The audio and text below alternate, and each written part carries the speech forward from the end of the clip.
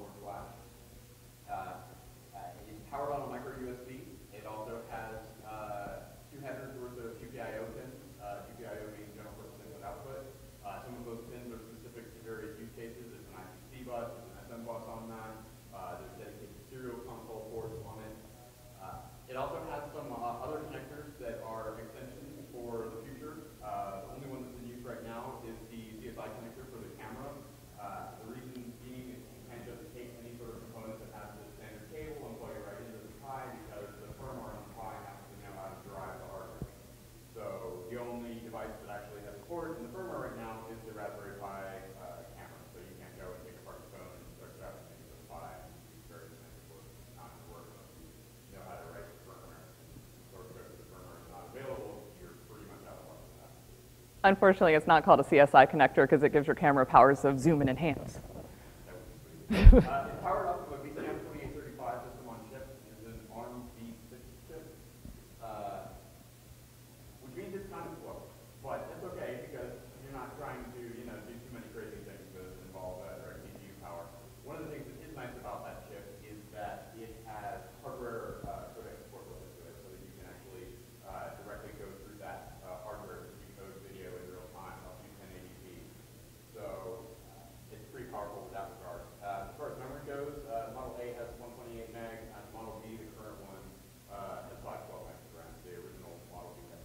Anybody have a Sharpie? I'll just scratch that out. Picture's a little old. And it's worth noting, so most of the things we'll be talking about, things that you should do, can do, uh, a lot of the projects are built on that more recent Model B version of the Pi, which also has some other cool additions, uh, like mounting holes, which are super handy. Uh, so as we know, the Pi was designed for education, uh, which is super awesome. The idea is keep it cheap, and then you can get it into the hands of kids. And for all of us, that's still super cheap because you have a monitor and you have a keyboard and all those things.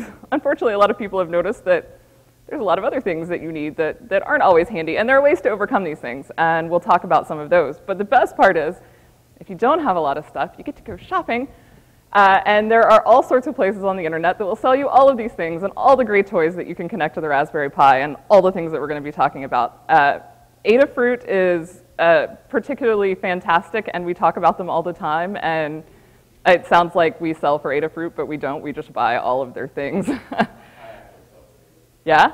I want to cut. Uh, the biggest difference on Adafruit, the Pi's $39.99 instead of 35 But if you're already buying all the other things, you might as well just go ahead and buy your pies there, and then you save on your shipping. Uh, Element 14 has all the cool stuff too. They're one of the, uh, the main sellers of the pie. SparkFun is really only useful for weird electronics parts. I kind of think of it as the internet version of what I would like Radio Shack to be. And uh, as for, oh, don't buy pies on Amazon. That's why that bullet is there. They sell for like $50 on Amazon. My neighbor asked me the other day, he's like, I'm going to get on Amazon and get a pie. I was like, no, slow motion, jumping on him. Uh, and your Radio Shack, Radio Shack fantastically varies by the side of town. I was going to say by town, but, but not even. There are three of them near me, and one of them might as well call itself the Arduino store, and another is a cell phone store.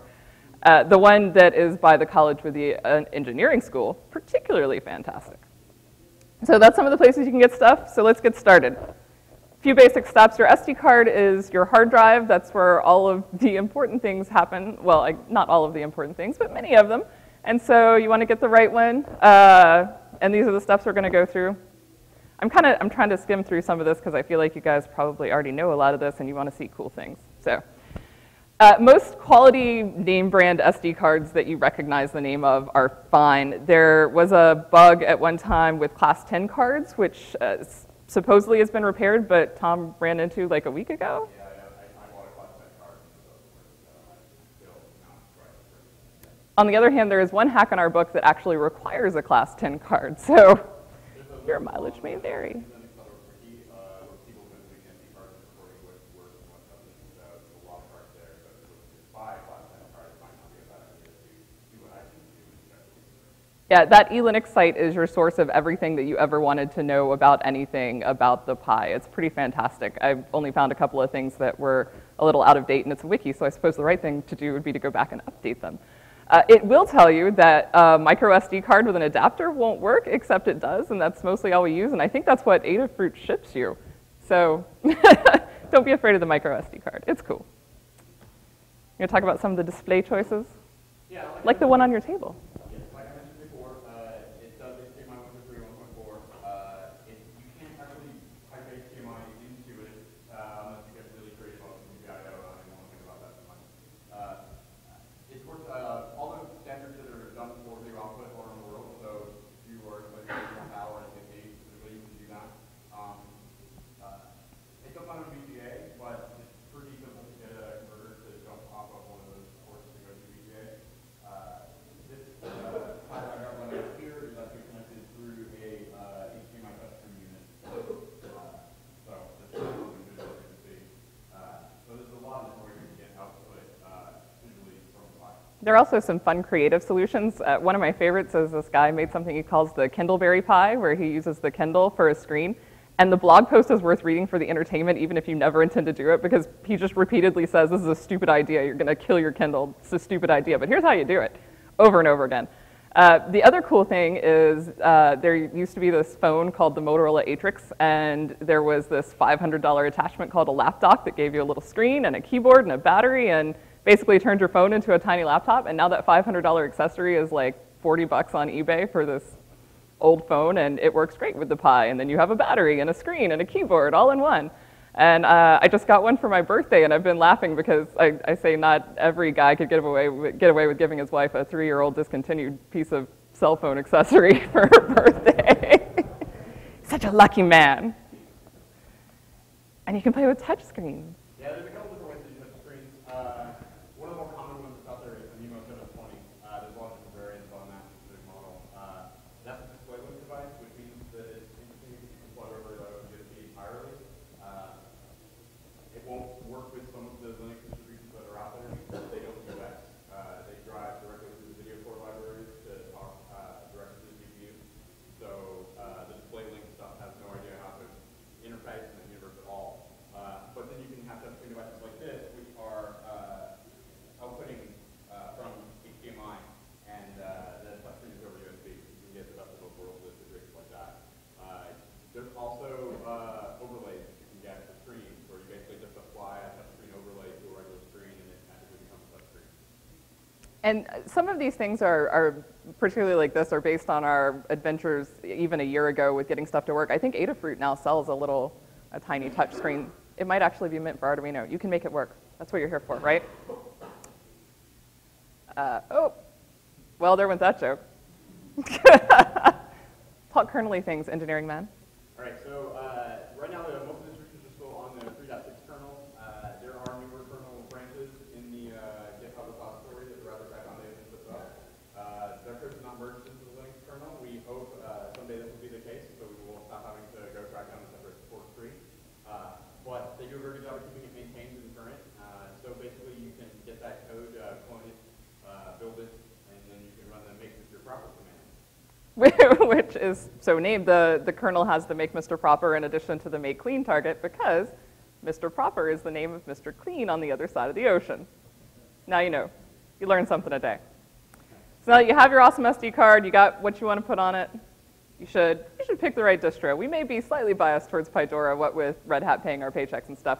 Um, we don't produce Pidora, I should add. It, it's a project based out of Seneca College. Uh, so we're not actually getting paid to work on it. We just like it because it's based on the thing we're getting paid to work on.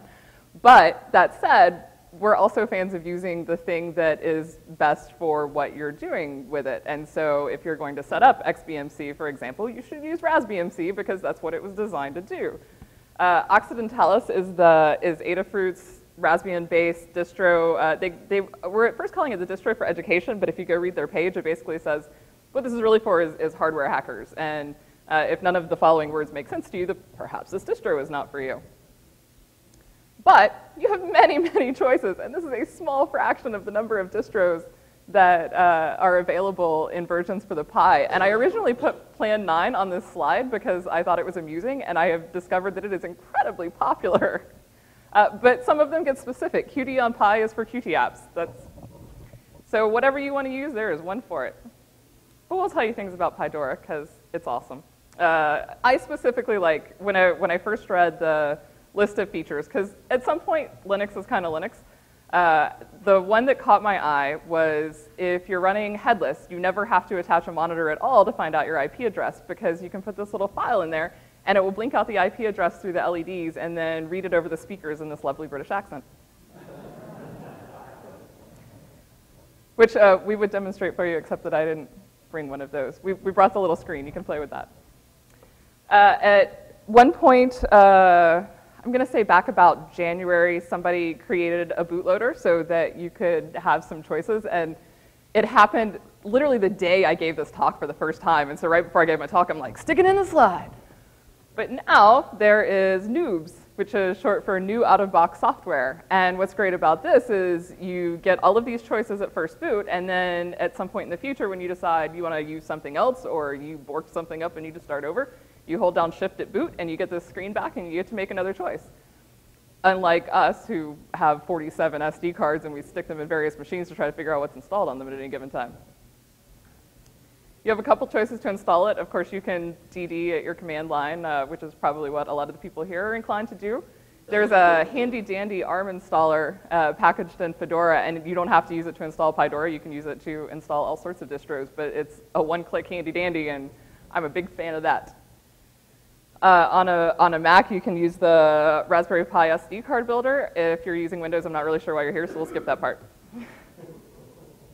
or you can just buy a card that is preloaded with a distro. There are several vendors that sell several different distros, usually Raspbian, already on a card, ready for you to go. Uh, and we didn't add, you should probably take into consideration what you're going to do with that, that Pi and how much space you need on said SD card, uh, and how big your distro is for that matter. So power, because, you know, it's electronics, needs electricity, five volts of it. You want to talk about power? so uh, the Pi wants five volts, uh, not less, well, not really more, it's just five volts. And, uh, about a quarter volt of tolerance either way. Yeah, it, it is a little bit of wiggle room in there, but the second you start to plug in high power USB devices, then you discover that you don't have enough power anymore. Uh, but you do want to have this be reliable because the, there's no battery. The Pi is dependent upon this uh, through life. Now, you might think, hey, I've got this awesome you know, phone, I'm just going to plug my phone charger in there, and what you will discover eventually if you play with this long enough is that most of the phone chargers you've got were cracked. Uh, they're fine for your phone because it doesn't need to hold a continuous rate of voltage to your phone to charge it. It can go up and down all over the place, and your phone will just charge slower. Uh, but for the Pi, you need that to be regular and clean. So uh, your phone charger probably is not the best bet for what you want to do. You want to go out and get a more dedicated, a little better built uh, charger for this. And the irony is that if you end up getting that,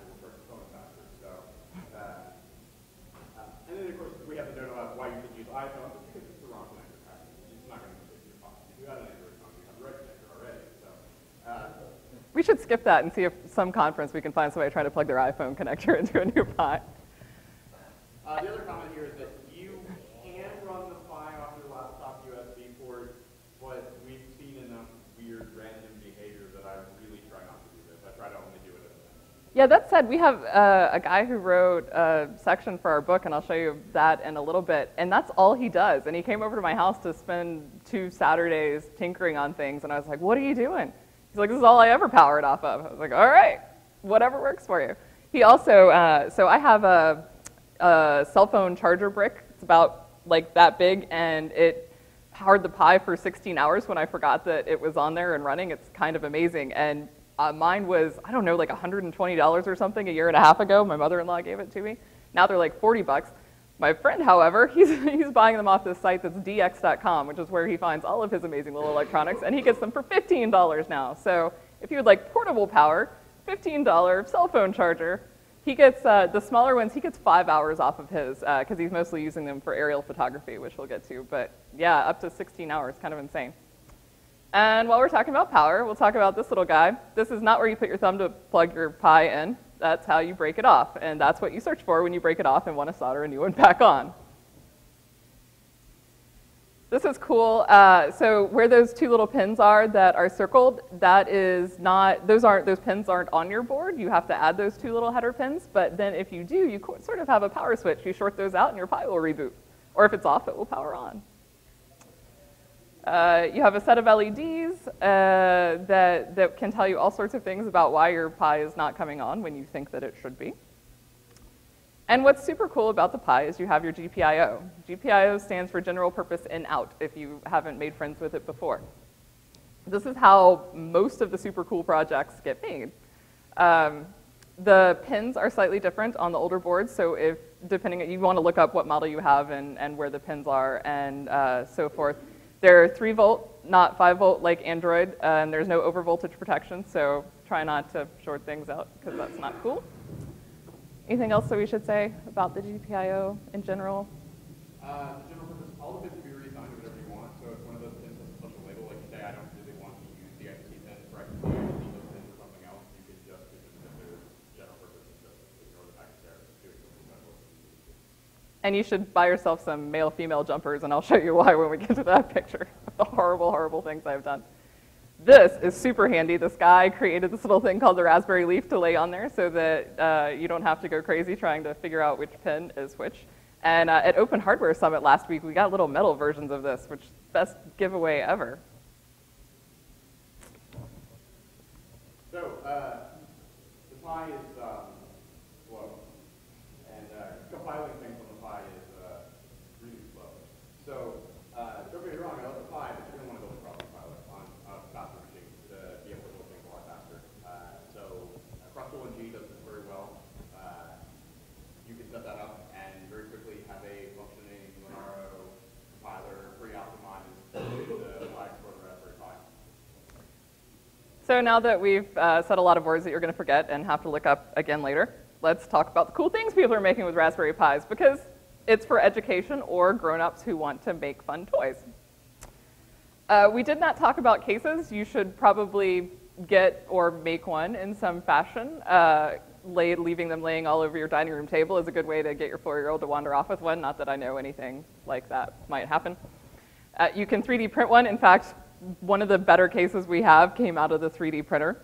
Uh, or you can build them out of Legos, which is my favorite approach.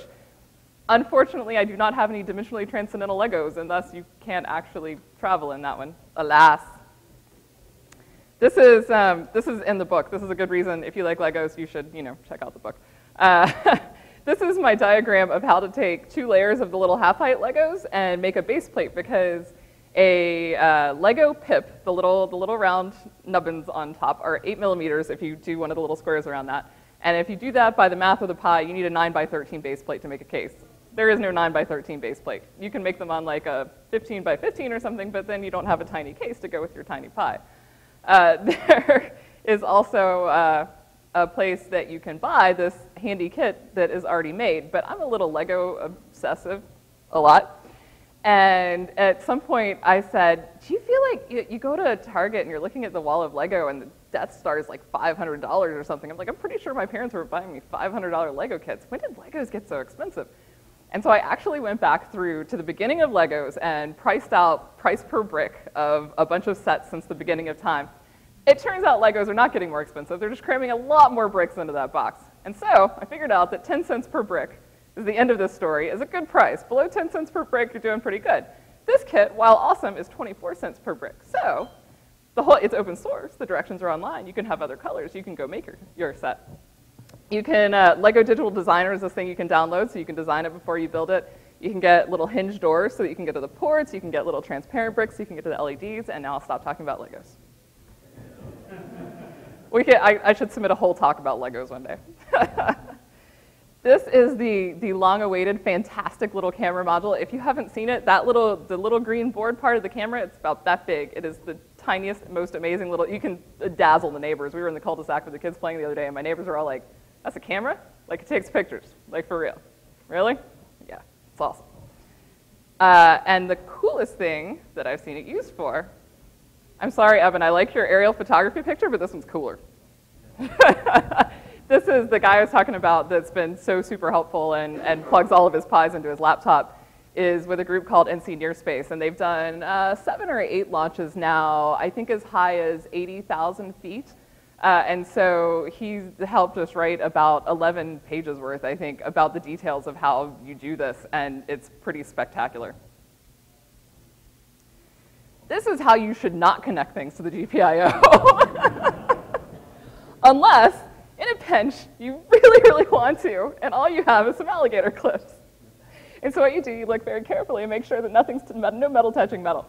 This is the first thing, uh, I, one of the first things we came up with when we were like, what can we do with this thing? We can rip a Game Boy apart and shove a pie back in there. That sounds like a good idea. It doesn't really fit that well, as it turns out. It comes pretty close. You gotta start, you gotta Dremel out some plastic. It'll get in there, but it's hard work. Also, you need a tri-tip screwdriver to get that thing apart, and I do not have a tri-tip screwdriver. It took us like an afternoon in the Red Hat engineering office to find somebody with a tri-tip screwdriver, but it was worth it. Uh, so this is a little screen that, that Adafruit sells. The other thing that, that I think is fun about being a little pie tinker is that you don't have to read the directions and sometimes things work anyway. those,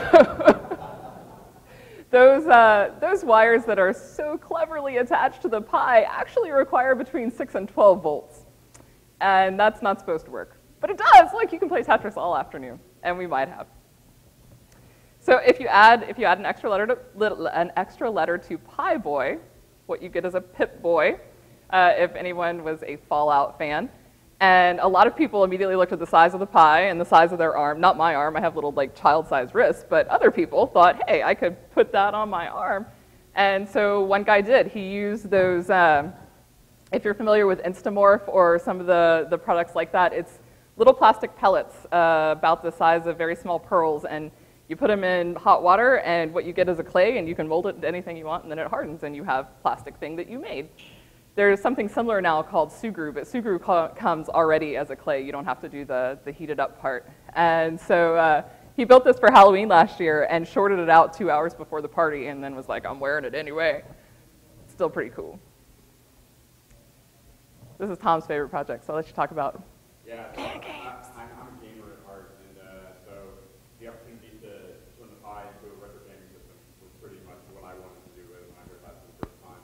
Uh, there's a thing called RetroPie that has pretty much every emulator known to man on the side of it, and uh, there's a helper script that will automate the entire process. You basically just hit enter and let it go, and it builds all the emulators ever and runs them all under Pi, and most of them run really well.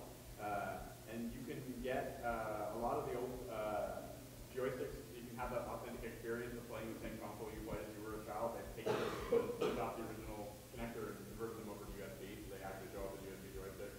Or if you want that real authentic experience, you can get USB to actual weird proprietary connector connectors and have them use your actual controllers if you're weird like me and stay over gaming systems forever and ever.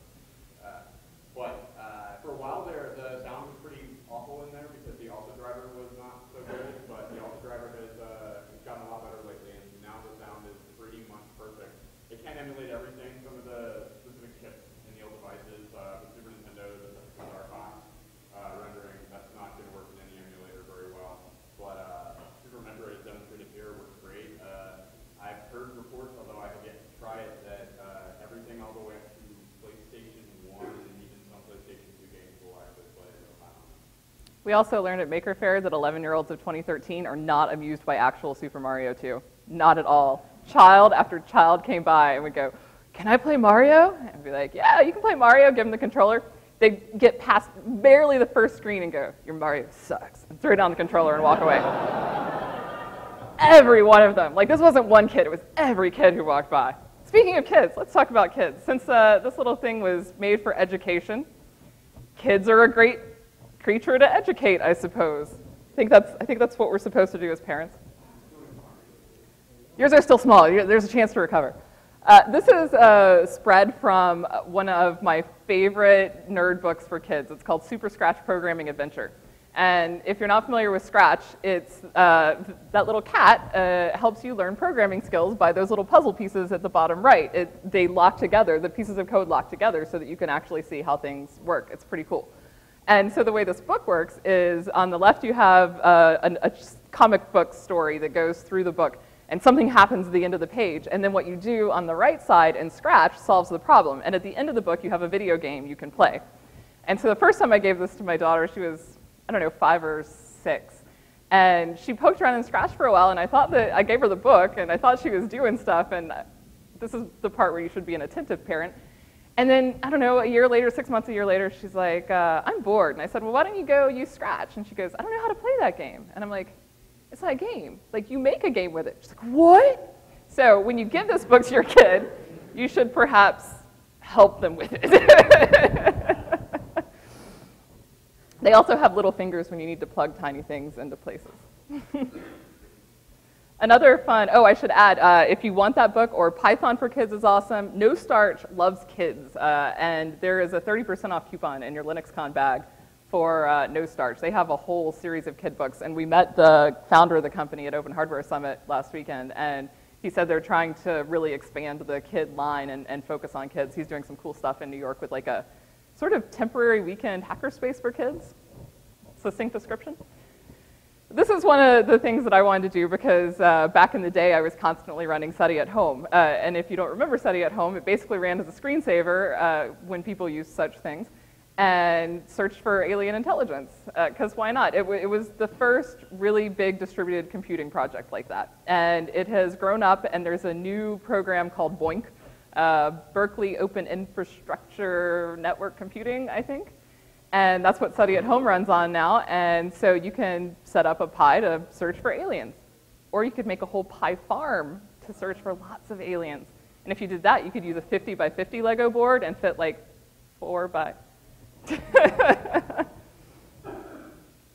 this is another interesting project. This is like the, the dedication thing. And this is, you can actually help this guy. So this guy really, really liked Stargate and decided that he wanted a functioning Stargate. Not like functioning, functioning, but functioning.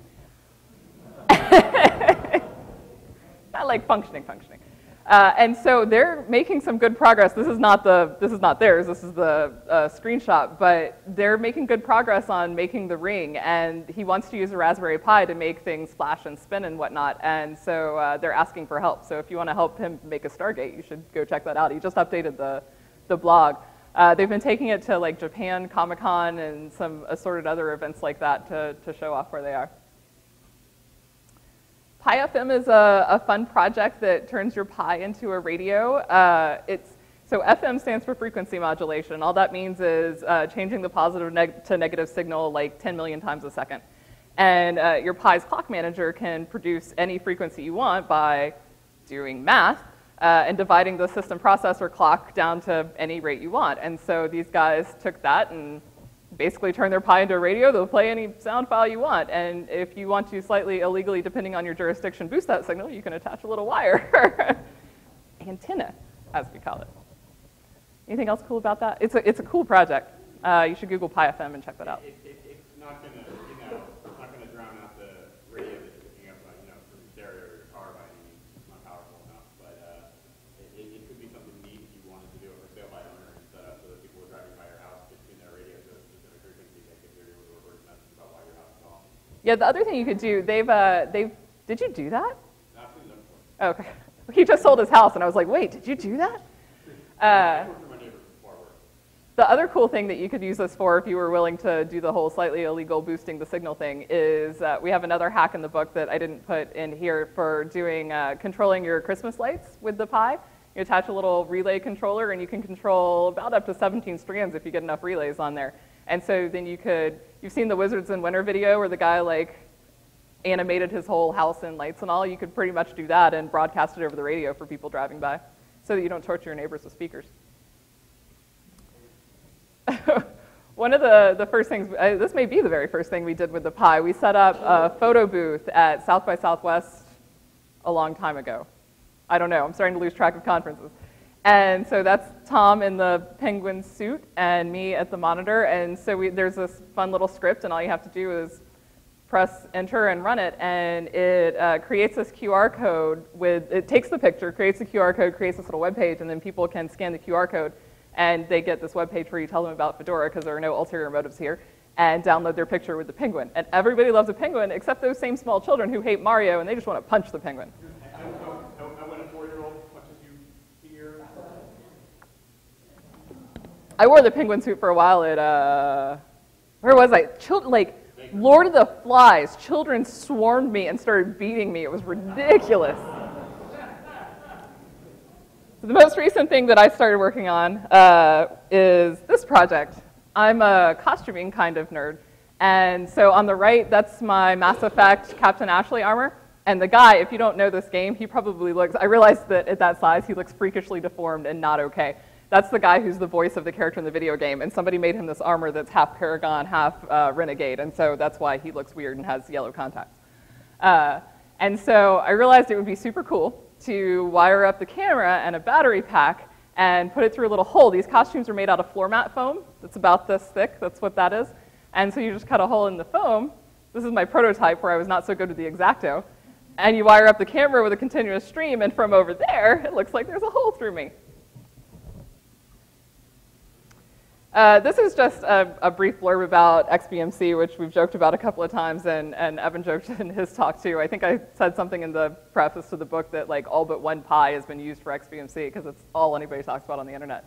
But the reason it's a good example is because of this guy I found down in the comments on uh, a, a, post I think on the Raspberry Pi blog about, about XBMC, and he's like, I pretty much just opened this box and did it. And I'm like, that's the open source dream! it finally worked! And I had my seven-year-old install it the other day. I, she got impatient at the end because it was not being speedy and we got down to let's go ride bikes, but basically a seven-year-old installed XBMC. That's pretty cool. What is not as easy is putting Android on your Pi. This is a really bad idea, and yet a lot of people want to do it. there's, a, there's a wiki, they have an IRC channel, there's some people working on it, and it's, it's, it will boot, and you can use it, and it's the slowest Android you've ever seen in your life. You have to use CyanogenMod 7 to uh, 9 doesn't really work. And uh, if, you, if that is in your aspirations, you just go to the wiki and you do it. Good luck with that. Who shall not be named. Steve, about a year ago, with hardware accelerated Android, and then um, never brought it up again. So uh, you see that person who might not be named standing in the back corner of the room, you can harass them about. Wow. To have the hardware accelerated Android. I wasn't going to do that, but man. so let's talk about Arduinos, other words that start with A. Uh, this is a little board called the a la mode because there's ice cream on your Raspberry Pi. Ha! But what it lets you do is uh, attach Arduino shields to the Pi. And uh, so if you have a collection of Arduino shields sitting around, you're going, sure wish there was an easy way to connect those. Done. Uh, this one's made by uh, WyoLum. There's also Cooking Hacks is another site that makes uh, a bunch of stuff for the Pi, and they have a version too that's slightly different. This, uh, if, if you're the sort of person who has a spouse who would buy you ancient electronics for your birthday and not get killed, then this would be an excellent Valentine's present. This guy built this for his girlfriend, and it worked because now she's his wife. It's not just an R2D2. This is a Raspberry Pi controlled, bilingual, voice controlled, face recognizing, distance recognizing, motion detecting, everything R2D2. And of course, he records and plays back messages because that's kind of what R2 does. Love that thing. I want one. More tiny gaming, as you can see from the cigarette lighter, ridiculously tiny gaming. That's pretty much what it is. You just have to see that picture because it's just It's adorable. And you can go to the blog, and this is how he describes how he did it. I love his wiring diagrams. He's like, I scribbled this on a napkin and scanned it in for you. Done. FishPi is a pretty cool project. Uh, it's a project to build a marine unmanned uh, surface vehicle. They intend for it to cross the Atlantic. This is one of the earlier prototypes. What I love about this is I said you could come up with a case out of Legos or just about anything you want, or say a piece of Tupperware. That's the waterproof housing. I went and looked today to see if they had changed anything. They have a new hole, but it's still in the Tupperware, which I think is awesome. But Tom came up with a better plan if you would like to wet down your Pi. No, this is a terrible plan, but it works. I'll let you describe what you did to your electronics. So there's a, there's a paint that recently came on the market called Never Wet. Uh, Rust-Oleum is uh, uh, selling it in the United States, and it is extremely hydrophobic. And they say on their website, do not put this on electronics. And so that's the first thing that I did. was I went to Home Depot, and, I, and I bought NeverWet paint, and I sprayed both layers of paint on just as advertised, no extra, just to see what would happen. And then I powered on high and threw it in a bucket of water, and it ran just fine. And, and There's a video of it on YouTube. there's a bad, terrible cell phone video of me doing it. Uh, and then the, the coolest part though was when I pulled this out, it came out dry because the water wasn't actually adhering to it at all. It wasn't like it was, it was just not getting in if I let it sit long enough. It comes out in no drips. Now, it makes it very, very, very, very chalky. Uh, the one that I painted, this is pre-painting, but the, uh, the one that I painted is rather disgusting and, and may look like I left it as a core for several years. But, uh, but it was really cool, so we, uh, I wouldn't say waterproof. I think that, that may be pushing it a bit. I think extremely water resistant for short periods of time is more accurate. So. We were, we were discussing this in uh, one of New Orleans' fine restaurants yesterday over lunch, and a guy at the next table was like, Excuse me, are you talking about putting your cake in water? he was highly, and then I heard his wife say something about, There's a girl at that table with five men. What are you talking about? It was hilarious. So then we started talking to that guy. It was great. This is the, the last project I'll show you, uh, and, and it demonstrates another principle, which is that every good idea I have has already been done on the internet. Uh, we, a lot of this book's outline was born in the most wonderful bar in the world in Paris, which if you're the kind of person who would like to walk into a bar and see a Millennium Falcon on the wall, then this is your bar, and I'll tell you all about it. You just come up after and you can hear the saga of the greatest bar in the world. But one of the things they have is these old things, which I call the Pizza Hut table, because that's the only place I ever saw them, where you have the player one on one side and player two on the other, and it flips back and forth, and you play all games. And I'm like, we could build this with a Pi and IKEA and stuff. And then, of course, I Google it, and somebody already built it, because every good idea I have somebody already did on the internet, but still want to do it. And that's about it. If you would like to download, uh, not exactly these slides, but a previous version of them, they're at that link at the top. Uh, it's mostly missing just that uh, aerial photography picture, but I'll upload the new one so that you can have them. And then uh, these are some other resources. The beginner's guide is good if, if you're just getting started. That's the link for our book that comes out in December and our information so that you can yell at us on the internet. Anybody have any questions? Cool projects they want to tell us about? Did you bring beer from your Raspberry Pi beer kegerator? 15 minutes away. Sweet. Go now. All right. Well, thanks for coming. Oh, yeah.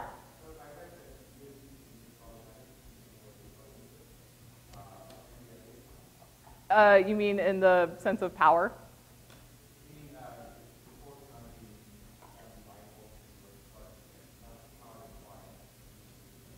So the, the trick is that the, uh, the USB ports on the Pi are a little, little odd because they only are intended to go with low power devices. Uh, and so when you plug a high power device, the USB device doesn't need to be low power or high power.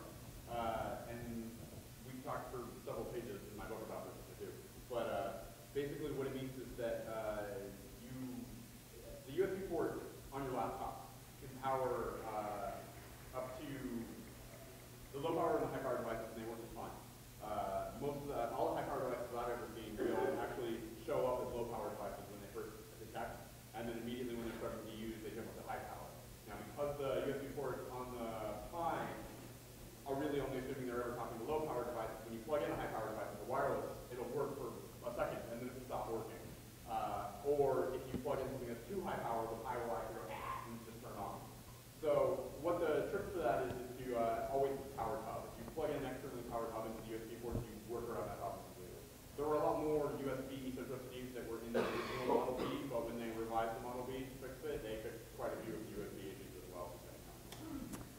I also forgot to add, I have uh, not a ton, but I have some Pidora t-shirts if anybody wants one, and a, all the Pidora stickers in the entire world, and possibly some Raspberry Pi stickers. I should look.